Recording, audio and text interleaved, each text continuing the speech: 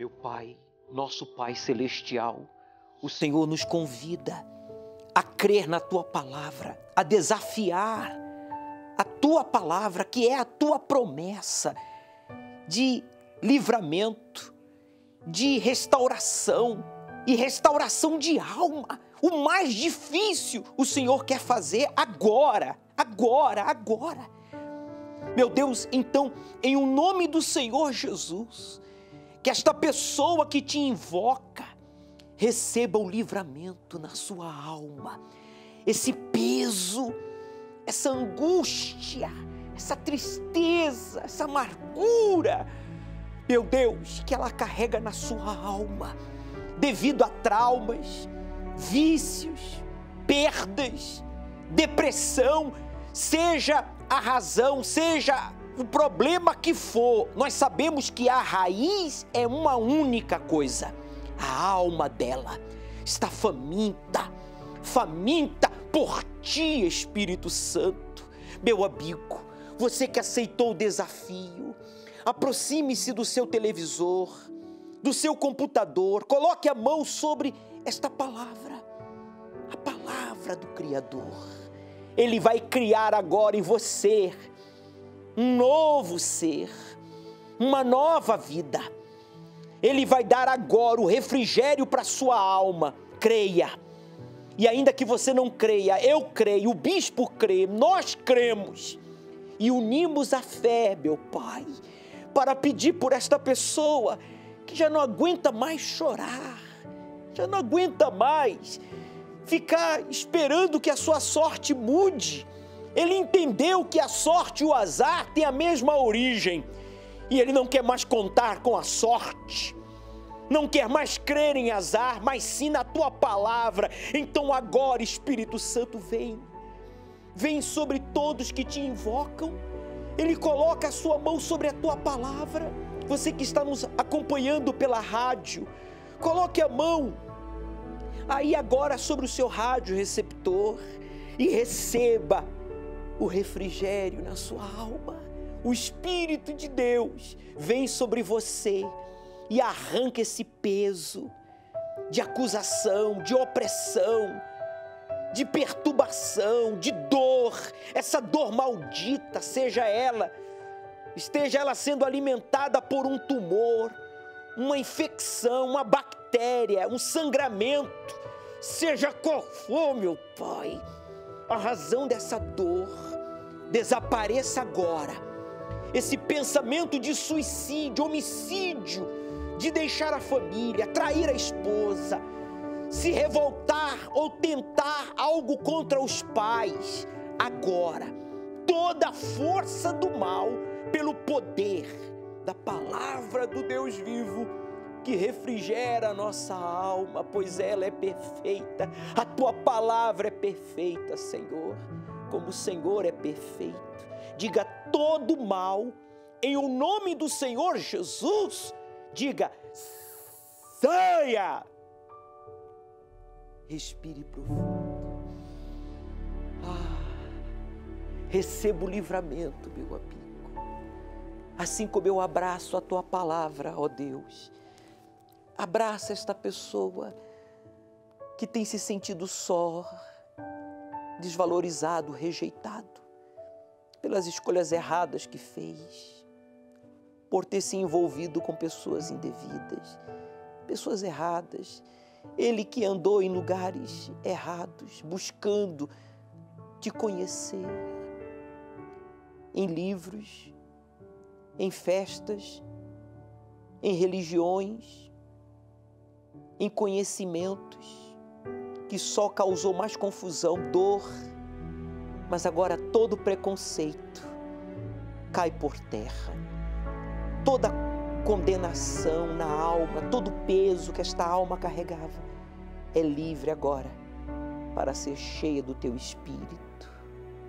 Em o nome de Jesus, abençoe esta água que Ele preparou para este momento, colocando aí o copo próximo ao seu televisor, ao seu rádio receptor.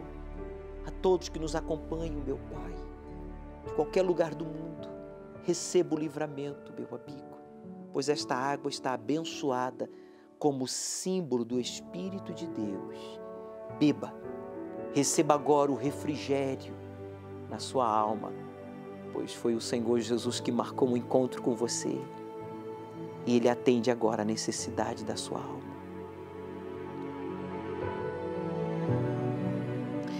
Receba paz, coragem, coragem, coragem para perdoar aqueles que lhe ofenderam, coragem para obedecer a Deus, doa a quem doer, não importa o seu passado, o que importa é o que você vai fazer daqui para frente.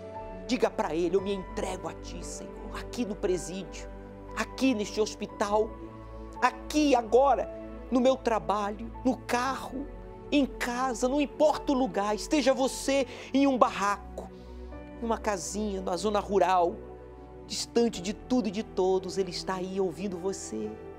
Ou esteja você em uma mansão, não importa, meu amigo. Ele não faz acepção de pessoas. Receba o abraço do Espírito Santo e você recebe a força para buscar a Deus. Meu Pai, eu quero pedir por todos os proclamadores agora. O Senhor tem tocado em pessoas que querem dar a outros a oportunidade de conhecer a verdade, os teus ensinamentos e serem transformadas, a exemplo dos casos verídicos aqui exibidos nesta programação.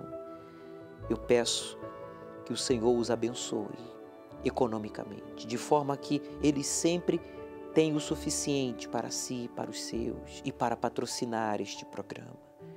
Que o Senhor toque em pessoas sinceras que realmente querem o que é certo, o que é justo e patrocinem também este programa, tornando-se um proclamador do telhado.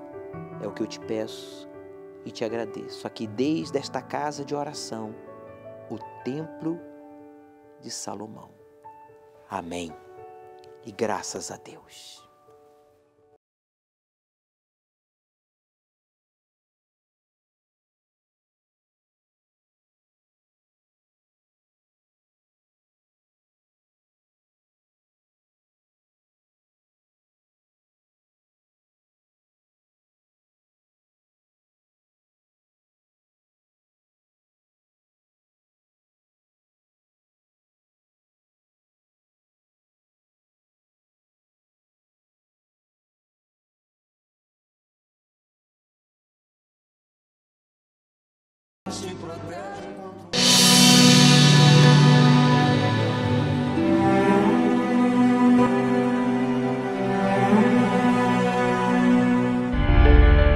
Sempre acontecia algo de errado para que o meu salário fosse totalmente focado ao prejuízo, vamos dizer assim.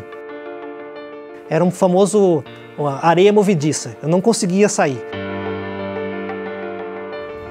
Meu nome é Rafael, eu sou detailer. Desde pequeno eu sempre tive um, um sonho, um desejo de, de ser um empresário, né, de trabalhar por conta própria. Porém, a minha família era de condições, financeiramente falando, condições ruins. Eu sempre via os meus colegas de escola, meus amigos, meus vizinhos, sempre tendo uma vida mais estável, mais avançada, e, e eu não tinha nada daquilo. Então isso me, me doía muito, porque eu tinha o desejo até mesmo de parte de alimentação, que eles comiam do melhor e eu não tinha essa condição na época. Meus pais não têm condições hoje de me dar o melhor, então eu vou fazer por onde, né? Eu vou fazer minha parte. Eu trabalhava, tinha meu salário, tinha meus objetivos, só que eu não conseguia atingir meus objetivos. Sempre acontecia algo de errado para que o meu salário fosse totalmente focado ao prejuízo, vamos dizer assim. Eu lutei para conquistar meu carro, conquistei, porém vivia sempre dando problema. Quando não era problema, o salário que eu recebia não tinha nem condições de, de, ter o combustível suficiente para o mês. Foi onde que eu recorri aos cheques especial, os limites bancários, achando, até mesmo empréstimo, né? achando que aquele valor que eu estava emprestando, que eu estava acionando o banco, eu ia conseguir resolver. A princípio eu começava bem, até resolvia. Só que por outro lado já acontecia algo do outro lado que já pendia para mais dívidas. Então era um famoso areia movediça. Eu não conseguia sair. Eu tentava, emprestava de amigo, até mesmo de familiares, porém eu não conseguia sucesso para poder me livrar das dívidas. Vinha desânimo, pensamento de que nunca mais eu ia conseguir é, sair dessa situação, atribulado, não, não, não conseguia ter paz, vamos dizer assim, não conseguia. Todo mundo olhava para mim e via, você você não tá legal hoje, você tá... Eu, não, não, eu tô bem, eu tô bem, só que por dentro eu não estava bem. Eu conheci a Igreja Universal foi através da minha mãe. Por várias vezes ela me convidava para ir, porém eu não queria ir, que eu achava que ah, esse negócio de igreja não vai dar certo, isso daí é só conversa. Até chegar um dia que eu não tive escolha, né? Eu falei, eu vou, porém eu vou, eu fui mais para agradar ela. É, quando eu ouvi o pastor falar a respeito do dízimo, eu até questionei, falei, poxa, mas eu não tenho condições nenhuma, minha vida está toda essa situação, eu vou, vou, tirar dízimo como? Se eu tirar o dízimo vai faltar para mim, se eu não tenho condições e como que vai ficar? Só que depois que eu ouvi que realmente colocando Deus em primeiro lugar, através da fidelidade, aquilo, as portas se abririam. Então, eu, a princípio, eu fiquei com um pouco de, de receio, né, de realmente, falei, poxa, eu estou vindo para Deus mudar e já está ouvindo falar de dízimo, né, de dinheiro. Aí foi que eu dei um voto de confiança para mim mesmo, como eu disse, e quis fazer o que, que, o que era orientado, o que foi orientado, para que a minha vida mudasse. E foi a partir daí, então, que eu decidi a se tornar dizimista fiel. Eu lembro que eu tinha um certo valor no bolso. E ali, a partir daquele momento, eu, eu vi o valor que eu tinha e naquela mesma hora eu separei meu dízimo e devolvi no altar. E os meus primeiros resultados foi que começou a surgir propostas de trabalho aonde os salários eram melhores, as condições eram melhores e o que eu poderia já começar a sanar as minhas dívidas. Então, todas as negociações que eu não estava conseguindo sucesso para me poder resolver aquela situação, eu, Deus abriu as portas e comecei aos poucos pagando tudo. E que eu via o, o tempo que eu perdi de não me entregar, de não me tornar fiel a Deus antes, né? Tudo que eu ia fazer, das mais simples coisas que eu ia fazer, eu sempre falava com Deus, pedia direção a Deus para que Deus não me deixasse errar. Porque lá atrás eu tomava as atitudes por conta própria. Eu fui tendo a visão de poder montar o meu próprio negócio, fui me aperfeiçoando né, no ramo que hoje eu atuo. Eu sou detailer né, no ramo de estética automotiva, né? É um embelezamento de automóveis, né? Então eu aprendi a obedecer à voz de Deus, né? Colocando Deus em primeiro lugar, através da fidelidade, não só o próprio negócio que eu adquiri, mas eu consegui me livrar de todas as dívidas. Hoje eu posso comer o que eu quero, posso viajar para aonde eu quiser. É, Deus me deu uma esposa abençoada, que hoje nós trabalhamos junto. E não só nesse ramo de estética automotiva, Deus já deu outra direção, que é no ramo de higienização de estofados. Conseguimos a nossa casa própria. Né? Hoje temos terras para poder construir, vender, usufruir da maneira que a gente quiser. Mas o principal não é mudar o, o externo, né? o, o financeiro, a, o físico, não. É o interior. Porque hoje eu tenho paz. Antes eu não tinha paz. Tenho lutas? Tenho, tenho sim. Porém, hoje eu tenho paz porque eu sei que Deus está comigo. Para alguns, apenas um livro com histórias, fábulas, metáforas. Para outros, o Manual da Vida uma obra milenar que resiste ao tempo e às perseguições. Tempestades, guerras, desastres, a incontrolável ação do clima e a mão do homem. Como isso foi possível? 1.189 capítulos distribuídos entre 66 livros, escritos em tempos diferentes. Como 40 autores que viveram em épocas distintas conseguiram traçar uma única linha cronológica? Com uma sola inspiração. Isso é o lindo deste, de, de, de, deste livro que yo puedo escribir un libro y tener mi inspiración, pero aquí fueron escritos por diferentes autores, en diferentes épocas, en diferentes situaciones, y todos tienen una misma encauce. El Dios de Abraham, el Dios de Isaac, el Dios de Jacob, É o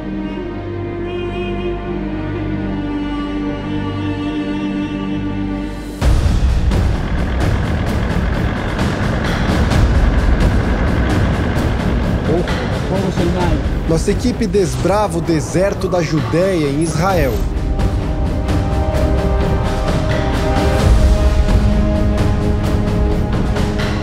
Um gigante misterioso.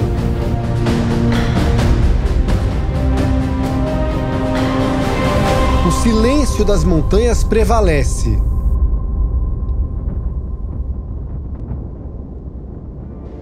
O deserto imponente se estende pela margem oeste do chamado Mar Morto.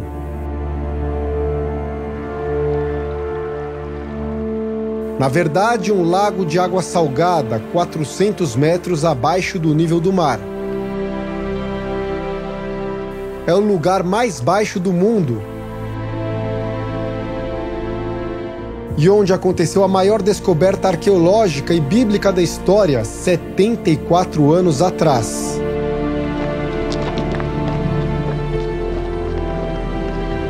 À procura pelos rastros dos surpreendentes manuscritos do Mar Morto, os textos da Bíblia mais antigos já encontrados nos leva a este cenário.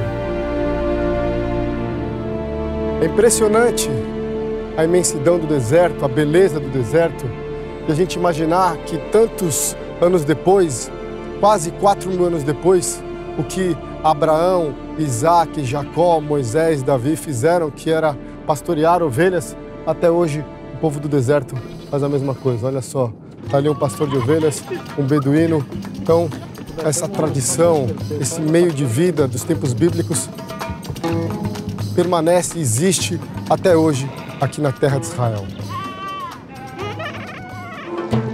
Uma imagem com enorme significado que nos remete a um dia histórico.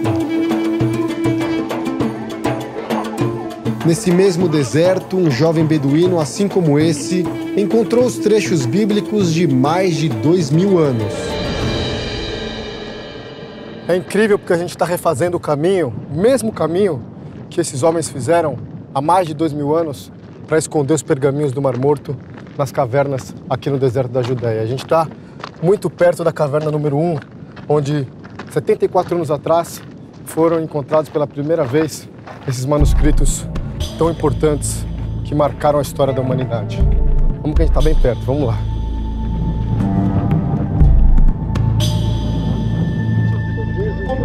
Eli Shukron, arqueólogo da Autoridade de Antiguidades de Israel, um dos especialistas mais renomados do mundo, nos acompanha e nos ajuda a recontar essa história. So this is the cave number one. This is the cave number one. Caverna número um. We need to jump Você precisa pular para entrar nela. Think about Pense nos beduínos que estavam aqui em 1947. Eles vieram de lá. As cabras e ovelhas todas por aqui. E nada por aqui, só deserto. Depois de andar eles sentiram falta de cabras. Então eles saíram procurando por elas. E aí o garoto beduíno, Muhammad al-Dib, resolveu pegar uma pedra e lançar ali dentro da caverna para tentar atrair de volta a cabra. Quando ele jogou a pedra lá no alto, ele ouviu o barulho de um vaso de cerâmica quebrando. Ficou intrigado para saber o que era. Escalou entrou na caverna e aí fez a grande descoberta do século XX. Encontrou ali dentro os manuscritos do Mar Morto, a maior relíquia bíblica da história. Neste domingo, estudaremos esse livro que tem resistido às perseguições, guerras e todas as catástrofes através dos milênios. E permanece intacto em seu conteúdo, inspirando transformando e salvando os que creem, com os casos verídicos dos heróis e heroínas da fé e revelando o que está por vir. Vamos aprender mais uma profecia das Escrituras Sagradas. Às 18 horas, no Templo de Salomão, ao pôr do sol, Avenida Celso Garcia, 605 Brás. Chegue cedo e mantenha-se em espírito de oração.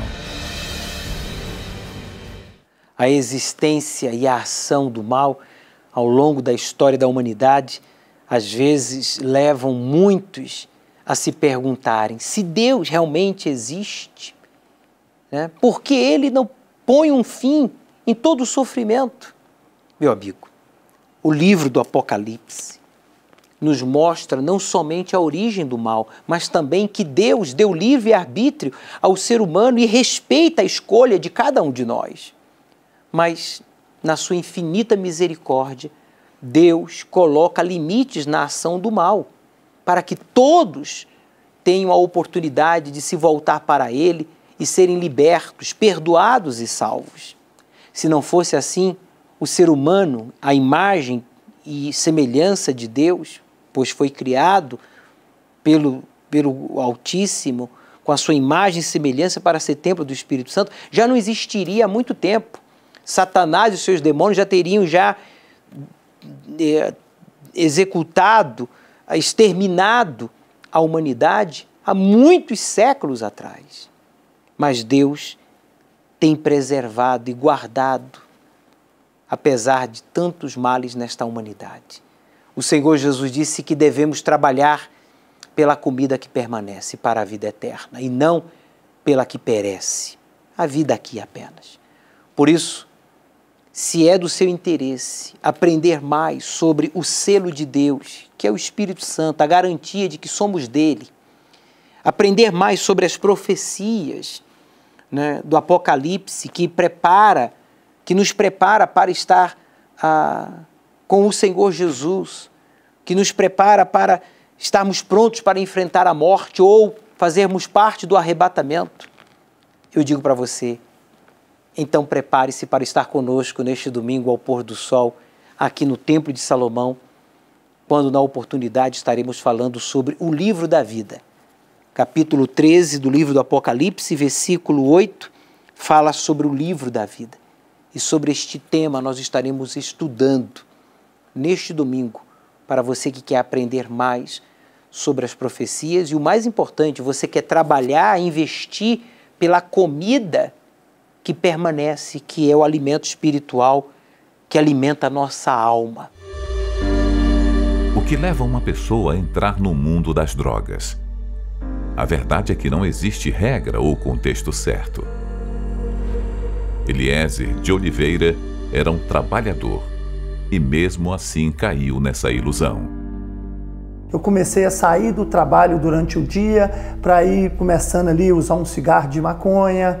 Aí depois eu já não fui mais trabalhar, já comecei a ficar por conta. Depois, para fazer o uso, você começa a não ter mais trabalho, é onde eu comecei a fazer pequenos furtos com o tempo eu fui ficando conhecido na polícia, onde eles me viam, eles me abordavam. Às vezes eu, eu cheguei a estar tão viciado em droga que eu já cheguei a pegar aparelho celular de irmãos meus para para trocar em droga. Depois eu fiquei um viciado, um dependente de droga. Eu tive a oportunidade de pessoas que também foram amigo meu de infância, mas foram pessoas que criaram outro trajeto. Foi pessoas que regenerou como um amigo meu. Ele já era obreiro na época e ele sempre me convidava para mim fazer uma visita na Igreja Universal. E ele falava comigo que a minha vida tinha jeito. Eu não dei ouvido naquele momento, mas aquilo me cobrava. Aquela voz sempre ecoava dentro de mim. Conversei com ele, contei a minha vida e falou: "Sua vida tem jeito". Primeira vez que eu entrei na igreja, eu assisti, participei da reunião, era uma reunião de segunda-feira, congresso empresarial. Com isso aí, é, eu fui para pedir uma ajuda, uma orientação, como que eu poderia fazer. O pastor falou: você chegou no momento certo. Era um momento que era a campanha da Fogueira Santa de Israel. Ele foi e falou comigo: o que muda a sua história é você fazer um sacrifício no altar. Ali eu não vi ele falando sobre dinheiro. Porque muitas pessoas, às vezes, quando fala em campanha de fogueira santa, em campanha ou em vida no altar, ela enxerga o financeiro. Mas eu, naquele momento, eu, eu enxerguei vida. Porque não adianta a pessoa ir no altar, colocar tudo que ela tem, mas se ela não mergulhar dentro daquele envelope que é a entrega da vida total e completa, que a gente entregar por, por inteiro para Deus, é entregar de corpo, alma e espírito. Logo próximo à igreja ali eu vi um lote aonde tinha um rapaz varrendo aquele lote. Eu cheguei, chamei o rapaz, falei com ele, amigo, é, eu estou indo ali na Igreja Universal, eu, eu sou uma pessoa que mudei de vida, eu preciso de uma oportunidade, eu sei lavar carro, eu estou vendo um espaço aqui bacana. E com isso tudo é onde eu consegui trabalhar e consegui gerar o meu primeiro sacrifício. Então, quando eu subi naquele altar, para mim naquela época, aquele dinheiro que eu peguei era, era um valor que eu poderia comprar roupas, calçados, mas eu sabia que o que eu ia fazer para Deus, a recompensa ia ser muito maior. Então eu subi com o coração apertado, mas na hora que eu desci, eu desci com a certeza de uma nova vida.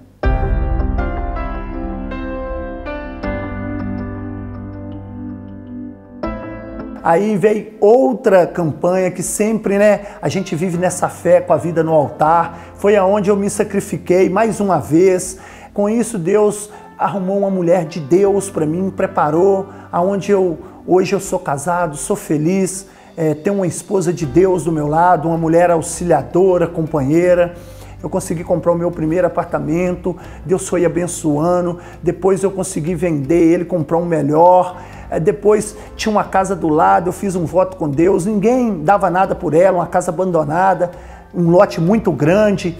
E, mas eu tinha visão de Deus na minha vida que ali poderia ser algo que, né, poderia ter o meu próprio negócio ali mesmo e sempre de fé em fé, com a vida no altar, sacrificando, dando o meu tudo, abrindo mão, não tendo coração a nada, sempre fazendo a obra de Deus. E com isso foi aonde eu consegui chegar comprar esse, esse lote abandonado com essa casa, eu consegui comprar essa casa, fui para o meu próprio ponto, hoje eu trabalho, moro em cima, Deus tem me abençoado, tenho uma família feliz, os meus pais hoje têm gosto de abrir a boca para falar da minha pessoa. Quem me conhecia, me conhece, sabe o carinho que eu tenho com os meus clientes, porque quando nós se entregamos para Deus, Deus sempre nos entrega o melhor porque tem uma passagem que diz: comeremos o melhor dessa terra. E com isso tudo tem acontecido em minha vida. Então, hoje, o meu maior patrimônio é ter o Senhor Jesus dentro de mim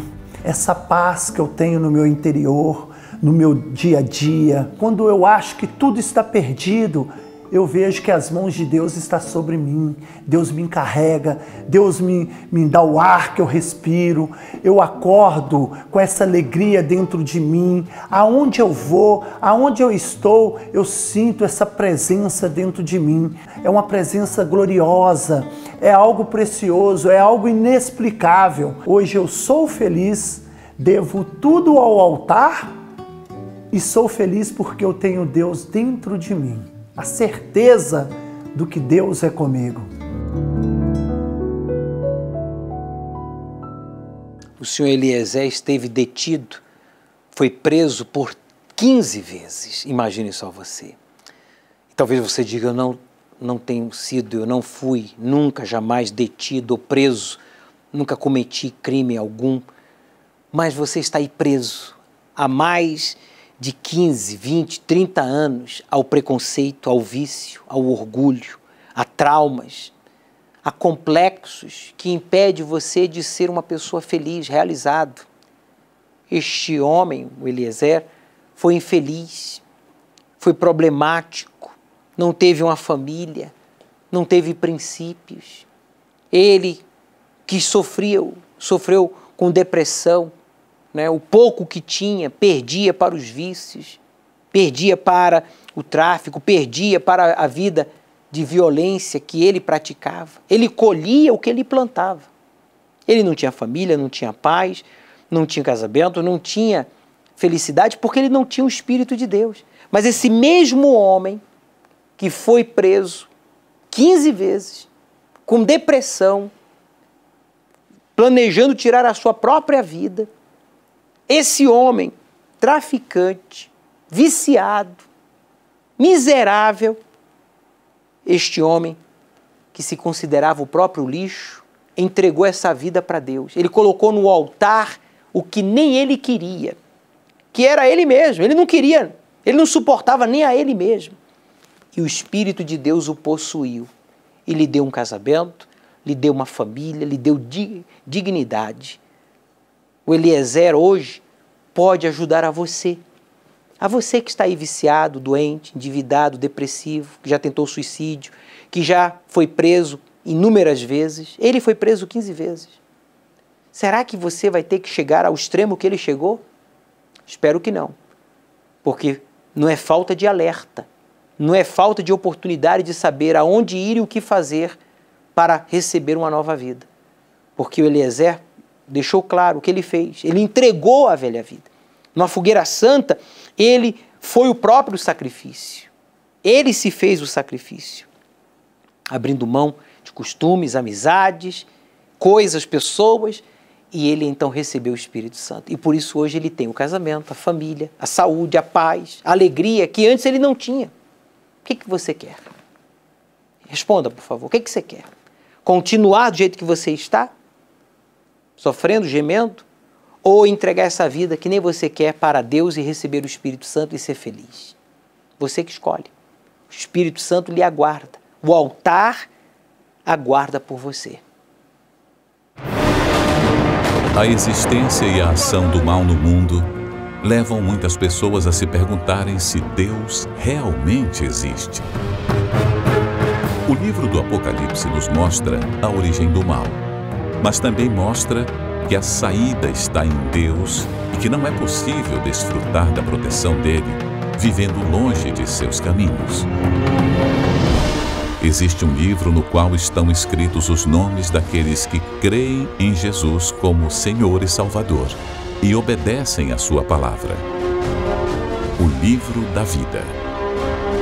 E adoraram-na todos os que habitam sobre a terra esses cujos nomes não estão escritos no livro da vida do Cordeiro, que foi morto desde a fundação do mundo. É sobre o livro da vida do Cordeiro que falaremos neste domingo. Às 18 horas, na reunião do encontro com o Espírito Santo, ao pôr do sol, no Templo de Salomão, Avenida Celso Garcia, 605 Brás. Chegue cedo Aceite o desafio de obedecer ao Deus vivo e Ele transformará a sua vida.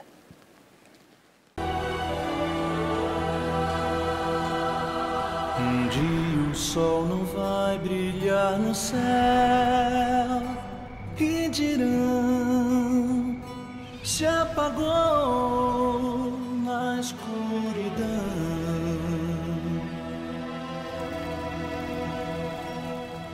Um dia não haverá mais o amanhã, não.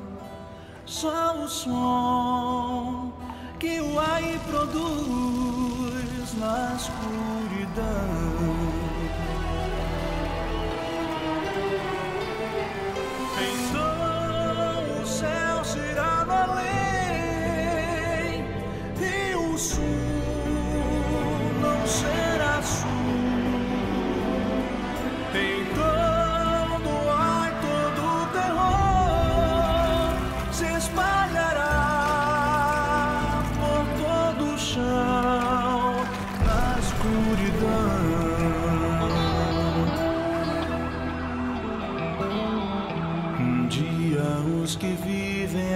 Sem Deus chorarão, sofrerão na escuridão.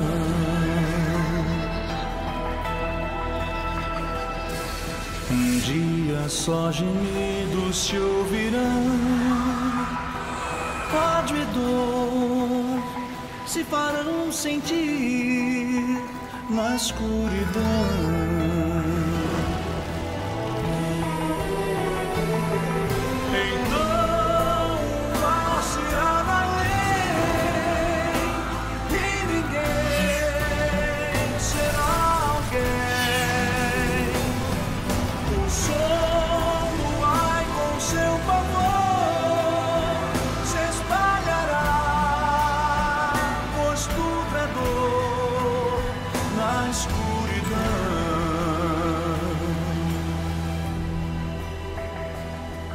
Amigo, se aproxima este final e Jesus sim virá, escrito está. E o tempo é hoje quando deves dar a Jesus que esperando está